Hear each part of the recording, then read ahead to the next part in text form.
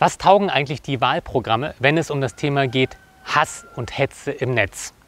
Es gibt viele Vergleiche von allgemeinen Parteiprogrammen, aber ich möchte jetzt einfach nur dieses Thema betrachten, weil mir das auch persönlich sehr am Herzen liegt. Und bei dem Thema ist es jetzt zunächst einmal gar nicht so einfach, richtig und falsch zu unterscheiden. Das hängt nämlich davon ab, wovon man überzeugt ist. Möchte man, dass Hasskriminalität bekämpft werden soll oder ist man davon überzeugt, dass das Netz eigentlich wunderbar funktioniert, so wie es ist? Der Stärkere setzt sich durch. Mit Gegenrede kann man ja auch ähm, Hass oder Falschnachrichten bekämpfen, denn das ist auch eine Position, die zum Beispiel Beispiel von der FDP, aber auch von der AfD vertreten wird, die ja gerade davon lebt, dass es möglichst viel freie Meinungsäußerung, aber eben auch äh, Falschnachrichten, Desinformation und Hetze gibt. Und so sind wenig überraschend die Ansätze der AfD relativ leicht zu erklären. Die sagt einfach, das Netzwerkdurchsetzungsgesetz soll abgeschafft werden und zwar ersatzlos und nur dann sollten Inhalte entfernt werden, wenn die Justiz das verfügt. Und wenn man das genauer betrachtet, bedeutet das faktisch, dass sie nie entfernt werden. Denn die Strafprozessordnung sieht nicht vor, dass ein Gericht anordnen darf, dass Inhalte entfernt werden. Es kann allenfalls einen Verurteilten als Auflage aufgeben, bitte entfernen jetzt diesen Beitrag oder er wird von selbst auf die Idee kommen. Wenn man aber gar keinen Beschuldigten ermitteln kann, dann würden solche Inhalte immer dort stehen bleiben, wenn es keine Grundlage gibt, sie zu entfernen. Insofern ist der Vorschlag der AfD nichts anderes als ein Stehenlassen von jeglichen rechtswidrigen Inhalten. Die FDP fordert aber auch die Abschaffung des NetzDGs. Das hat sie schon im letzten Wahlkampf gefordert. Aber in diesem Jahr ist etwas anders geworden.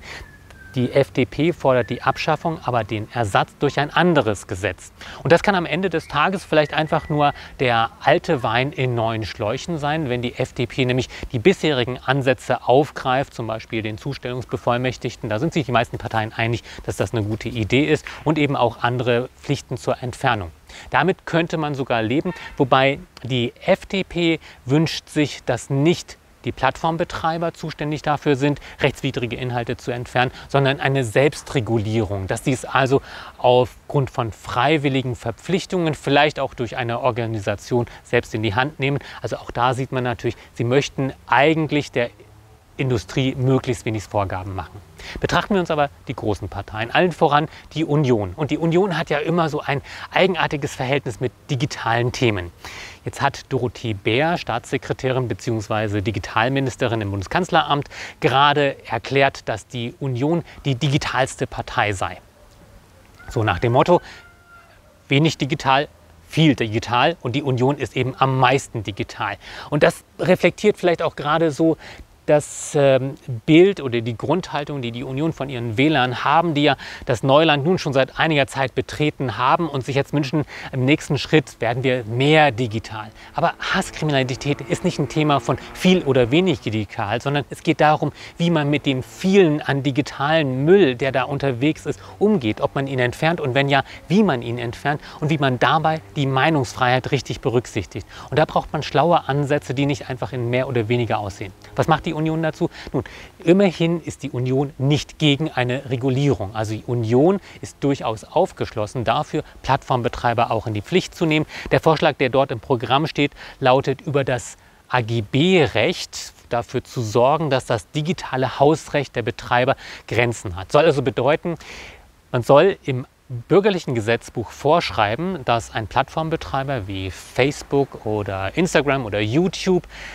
bestimmte Regeln einhalten muss, wenn sie Inhalte löschen sollen. Allerdings diesen Vorschlag hat der Bundesgerichtshof schon umgesetzt. Ich muss ehrlich zugeben, ich hatte diesen Vorschlag die letzten Jahre immer wieder auch vorgebracht, dass wir über das AGB-Recht, über die Grundrechte-Klauseln, über die Generalklauseln dafür sorgen, dass Facebook eben nicht alles entfernt, was sie entfernen wollen, sondern nur die richtigen Inhalte, die wirklich rechtswidrig sind, entfernt und dass es ein entsprechendes Verfahren dazu gibt. Hat der BGH in seiner Entscheidung gegen Facebook bereits diktiert. Er hat auch klar vorgegeben, wie eine solche Stellungnahme in so ein Verfahren aussehen soll. Jetzt könnte man sagen, hat sich die Union überholt. Nein, äh, das ist ein Thema, was man immer noch anbringen kann, aber es ist ehrlich gesagt jetzt kein großer Wurf mehr oder keine große Innovation, vor allem auch kein großes Risiko. Das ist also das Programm der Union. Man könnte sagen, es ist nicht schädlich, aber es ist natürlich auch nicht besonders ambitioniert und man tut der Wirtschaft auch nicht zu sehr weh. Betrachten wir die SPD. Die SPD hatte in diesem Thema in den letzten Jahren die Federführung, weil sie das Justizministerium besetzt hatte. Und Heiko Maas, jetziger Außenminister, hatte damals als Justizminister das Netzwerkdurchsetzungsgesetz vorgelegt und mit sehr großen Widerständen ähm, durchs Parlament gebracht. Damals in der vorletzten Legislaturperiode auch noch mit der dringenden Hausaufgabe, äh, die Meinungsfreiheit künftig zu stärken. Das NetzDG war eine Idee, um Opferrechte um die Rechte von Opfern von Hasskriminalität zu stärken und dafür zu sorgen, dass beispielsweise Hetze oder Verleumdungen wirksam entfernt werden und das notfalls eben auch mit Bußgeldern. Im jetzigen Programm hält sich die SPD etwas vage, was konkrete Maßnahmen betrifft. Man könnte fast glauben, sie hätten keine richtigen Ideen. Immerhin sagen sie, sie wollen Organisationen wie zum Beispiel Hate Aid unterstützen ähm, und sie sagen und erkennen, dass die Diskussion auf europäischer Ebene stattfindet beim Digital Services Act. Und dieser Digital Services Act, der ist gerade in der Abstimmung, in der Diskussion. Da fängen jetzt gerade die Diskussionen zwischen Lobbyverbänden einerseits an, also die Plattformbetreiber, die möglichst wenig Regulierung haben wollen, und den Parteien oder Interessenvertretungen auf der anderen Seite. Und da ist es wichtig mitzuschwimmen, mitzuspielen und sich aktiv mit einzubringen. Und da finde ich unsere Bundesregierung bisher viel zu zurückhaltend. Man könnte fast sagen, es interessiert sie gar nicht so richtig und man überlässt es von der Leyen, dieses Projekt durchzubringen. Denn der Entwurf des DSA bleibt hinter dem NetzDG zurück. Würden wir den jetzigen DSA, so wie er ist, auf europäischer Ebene haben, müssten wir in Deutschland das NetzDG in großen Teilen wieder revidieren. Zum Beispiel gäbe es nicht mehr das Recht eines Betroffenen, gegen eine Entscheidung der Content-Moderatoren von Facebook vorzugehen. Und das ist ganz klar ein Rückschritt. Was es schon gibt, ist, dass derjenige, der betroffen ist von einer Löschung, sich dagegen wehren kann. Man sieht also, da hat man die Userrechte zwar gestärkt, aber die Rechte des Betroffenen unten runterfallen lassen. Die Grünen haben die detailliertesten Forderungen dazu aufgebracht, allerdings auch das größte Risiko politisch damit in Kauf genommen, weil die Grünen fordern als einzige auch eine staatliche Regulierung zur Verhinderung von Desinformation. Das ist eine heiße Kartoffel, die bisher keiner anfassen wollte. Ich hatte vor einigen Wochen auf Twitter mal eine Umfrage gemacht. Wer ist dafür, dass Falschinformationen, die in der Absicht verbreitet werden, um ein äh, die Bevölkerung zu verunsichern einen Schaden anzurichten, dass so etwas mit Strafe gestellt werden soll. Und da war eine relativ große äh, Mehrheit dafür. Und ich hatte Digitalstaatssekretärin, äh, Ministerin Doro Bär gefragt, ob sich dazu äußern würde. Sie hat die Finger davon gelassen, denn sie hat sich ihre Finger schon mal vor einigen Jahren verbrannt, als sie eine Bundesstelle für ähm, ja, Fake News war es letzten Endes, aufmachen wollte. Und da kam so viel Gegenwind, dass sie ganz schnell die Finger davon gelassen hatte. Und das ist vielleicht auch die Politik. Man versucht unfallfrei durchzukommen, anders als ein Herr Scheuer, und einfach die Finger von strittigen Themen zu lassen. Und Fake News ist so ein Thema, wo man ja immer in Konflikt kommt mit der Meinungsfreiheit. Wer soll entscheiden, was denn hier die Wahrheit oder Nichtwahrheit ist?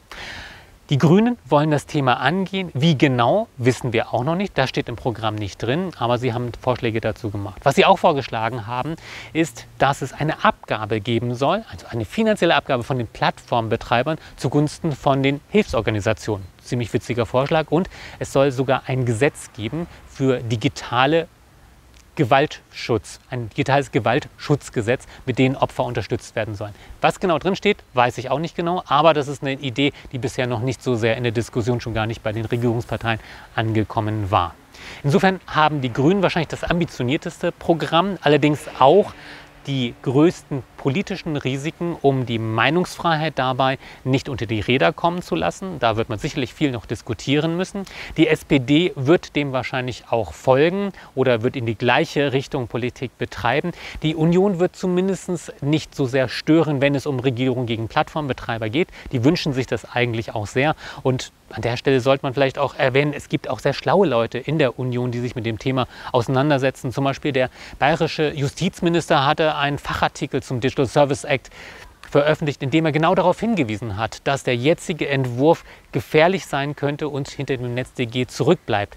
Allerdings sind diese Stimmen jetzt nicht in das Programm eingeflossen und auch nicht in das äh, Wahlkampfteam von Armin Laschet. Da hat man eher das Prinzip, möglichst viel Digitalisierung wird schon gut sein. Bei den Koalitionsoptionen könnte man sich jetzt überlegen, was würde das für das Thema Hasskriminalität bedeuten. Eine Kombination aus ähm, Union, SPD und Grünen würden vielleicht dem Thema sogar etwas mehr Drive geben. Jede Konstellation mit der FDP da drin würde zu schwierigen Konstellationen führen, weil die FDP eben die ähm, Abschaffung des NetzDG fordert. Und es kann sein, dass dann dieses Thema als eher Nebenkriegsschauplatz eingetauscht wird gegen irgendetwas anderes. Also dass die FDP vielleicht ähm, oder die andere Seite an der Stelle Kompromisse macht zugunsten von irgendeinem anderen Thema. Deshalb habe ich durchaus Sorgen, dass in diesen Konstellationen in Sachen Hasskriminalität ein Rückschlag erfolgen könnte. Die Linke hat sich zu dem Thema so gut wie gar nicht positioniert. In ihrem Programm taucht das Thema Hass zwar auf, aber nur im Zusammenhang mit Diskriminierung oder mit Medienvielfalt. Ähm, von der Tendenz her sind sie wohl schon zu äh, aufgeschlossen gegenüber einer Regulierung zu Lasten von großen Unternehmen. Auf der anderen Seite sind sie auch, und da haben sie das gleiche Problem wie die Grünen, ähm, manchmal recht kernig unterwegs im Netz und dadurch häufig auch selbst betroffen von Löschungen von rechtswidrigen oder rechtmäßigen Inhalten. Deshalb tun die sich vielleicht etwas schwerer oder haben einfach nicht die fachliche Kompetenz, um dieses Thema wirklich zu besetzen. In diesem Sinne, schöne Grüße aus der Toskana. Jetzt hat es auch noch angefangen hier zu regnen, was überhaupt nicht typisch war. Wir tuckern jetzt also weiter Richtung Norden und wir sind hier etwas südlich Florenz in einem Agriturismo, äh, den ich sehr empfehlen kann und ich verlinke den Namen von diesem Platz in der Beschreibung.